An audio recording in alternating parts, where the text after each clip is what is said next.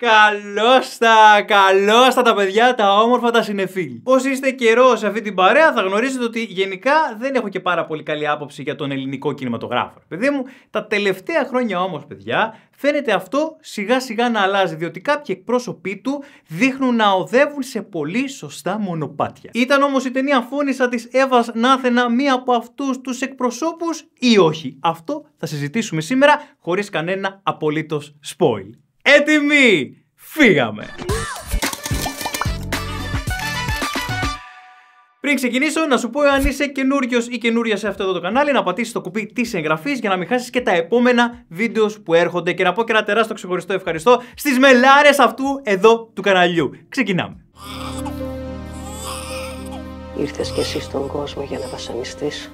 Όποιος ή όποια ακολουθεί στο Instagram θα γνωρίζει πως παρόλο που δεν προτιμώ τις ελληνικές ταινίες, την φώνησα θα πήγαινα να την δω. Διότι με ξετρέλανε το τρέιλερ της. Πραγματικά είχα ανατριχιάσει, παιδιά, από την θέαση του τρέιλερ αυτού, το οποίο είχε παίξει, από όσο θυμάμαι, πριν από την κουράδα, εννοώ το νέο εξορκιστή που είχα πάει και είχα δει. Κάτι καλό βγήκε τουλάχιστον από αυτή τη βραδιά. Οπότε δεν υπήρχε περίπτωση, παιδιά, να μην πάω να δω νέα ταινία με πρωταγωνίστρια την εκπληκτική καριοφιλιά Καραμπέτη που με είχε ξετρελάνει ήδη με την ερμηνεία της από την ταινία Ευτυχία.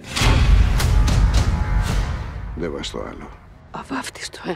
Πάμε λοιπόν να πούμε για όσους δεν γνωρίζουν πως η ταινία Φώνησα στηρίζεται στο μυθιστόρημα του Αλέξανδρου Παπαδιαμάτη που εκδόθηκε για πρώτη φορά ολοκληρωμένο ενώ το 1912. Και αφορά την δυσμενή θέση της γυναίκας στην εποχή που ήταν εγκλωβισμένη και ανίκανη να ξεφύγει από τον ασφικτικό περίγυρό της. Και η λέξη στηρίζεται είναι πολύ σημαντική κυρίες και κύριοι, διότι όσοι έχετε διαβάσει το βιβλίο και πιστεύετε πως δεν αξίζει να δώσετε μια ευκαιρία στην ταινία επειδή ήδη ξέρετε τι γίνεται, θα σας έλεγα να πάτε διότι έχει αρκετές διαφορές στο σενάριο της ταινίας από αυτό το βιβλίο. Τώρα, το εάν είναι καλές ή κακές αυτές οι αλλαγές θα το κρίνει ο καθένας από μόνος του. Κεντρικός χαρακτήρας της ταινίας μας λοιπόν είναι η Χαδούλα ή Φραγκογιανού, μια χείρα μεγάλης ηλικίας η οποία έζησε μια ζωή όλο βάσανα όπως και όλες οι γυναίκες της τότε εποχής. Στο 1900 τοποθετείται η ταινία. Μιας εποχής που ο ερχομός ενός θηλυκού παιδιού δεν ήταν λόγος για χορούς και πανηγύρια.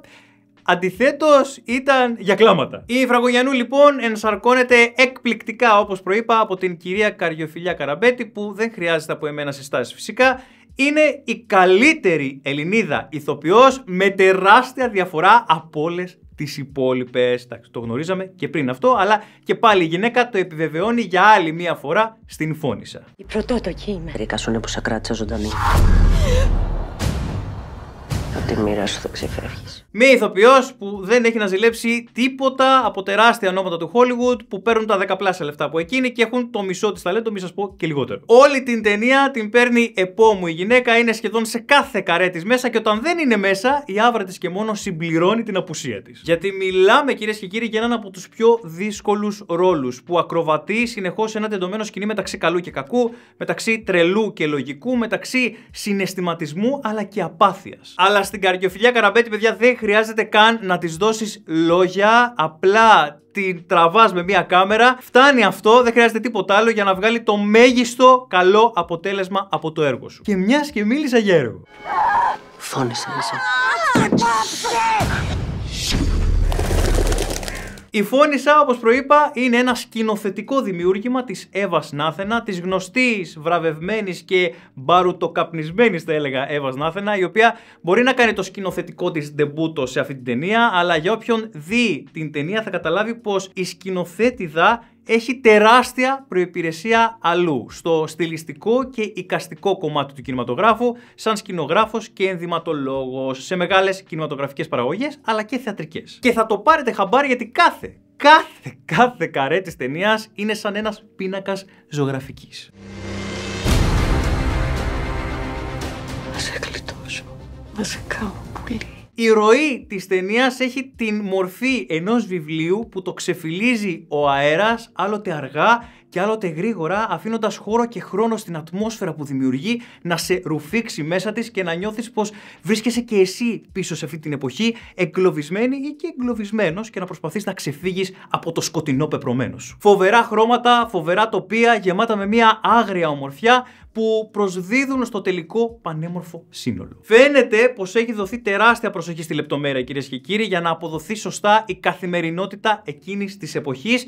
Μία καθημερινότητα που βοηθά πολύ ένας σημερινός θεατής να σοκαριστεί και να παρασυρθεί από το εκπληκτικό και πολύ μπροστά από την εποχή του σενάριο που είχε γράψει ο Παπαδιαμάντης. Ένα σενάριο που όντως φύγει ζητήματα, λεπτά ζητήματα που ταλανίζουν την ανθρωπότητα ακόμη μέχρι και σήμερα.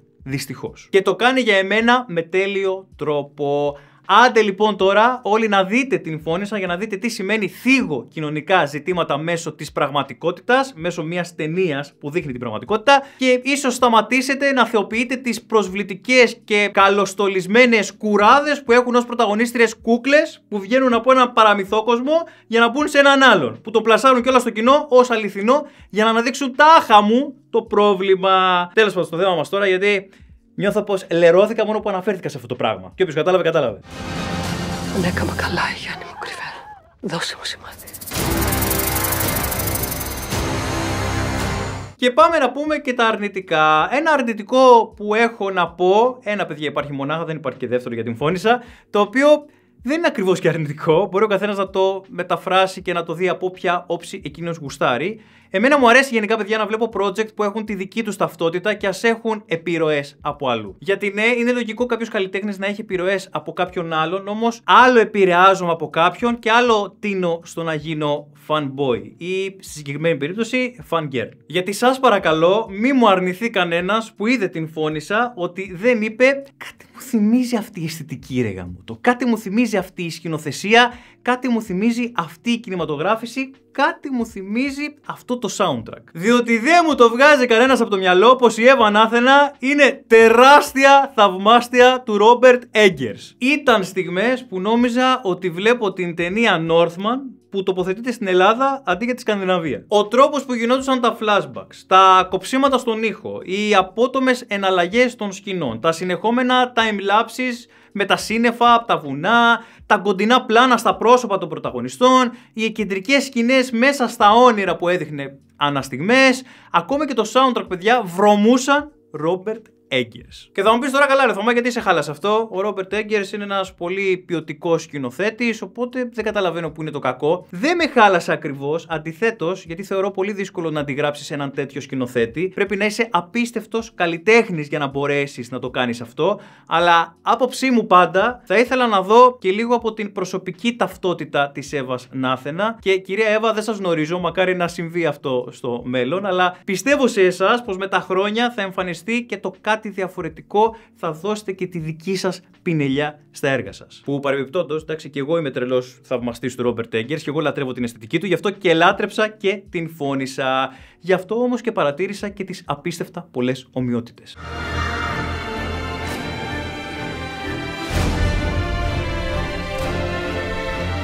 Για το τέλος, θέλω να πω και ένα τεράστιο μπράβο στους υπόλοιπους ηθοποιούς της ταινίας, παιδιά, που στέκονται αντάξει των περιστάσεων. Κανείς δεν κλωτσάει.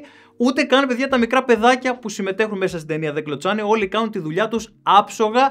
Και ένα ακόμη μεγαλύτερο μπράβο στον Δημήτρη Παπαδημητρίου που έγραψε την εκπληκτική μουσική που διακριτικά δίνει ιδανικά την ταινία. Όπως επίσης μπράβο και για την φοβερή επεξεργασία ήχου. Γιατί μιλάμε, παιδιά, για ένα έργο που σε πολλές στιγμές του είναι βουβό. Δεν υπάρχουν λόγια, αλλά την ατμόσφαιρα την χτίζουν οι ήχοι του περιβάλλοντος, όπου έχουν μιξαριστεί εκπληκτικά. Ειλικρινά, χαίρομαι που επιτέλους ο ελληνικός κινηματογράφος μετά από χρόνια φαίνεται να παίρνει έναν σωστό δρόμο. Χαίρομαι να βλέπω να επενδύονται μεγάλα ποσά σε κινηματογραφικές παραγωγές. Χαίρομαι να βλέπω νέους ανθρώπους να παίρνουν ευκαιρίες.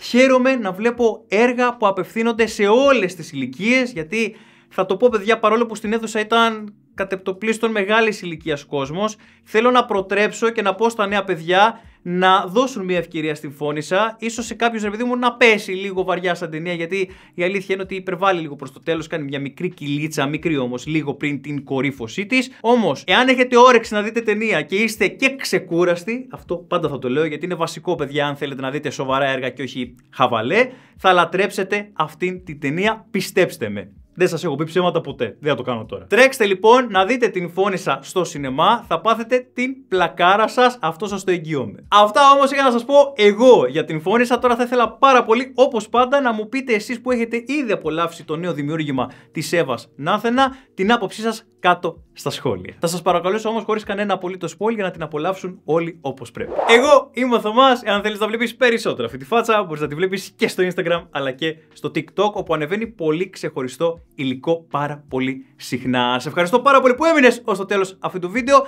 Εάν σου άρεσε, ξέρεις τι να κάνεις και για να μην χάσεις τα επόμενα, πάτσε το κουμπί της εγγραφής και το καμπανάκι για να μην κάνεις καμία ειδοποίηση για τις επόμενες βίντεο που θα έρθουν. Και μέχρι το επόμενο βίντεο να βλέπετε ταινίες και σειρές, να πηγαίνετε στο σινεμά, αλλά πάνω απ' όλα να περνάτε όλοι όμορφα. Τα λέμε.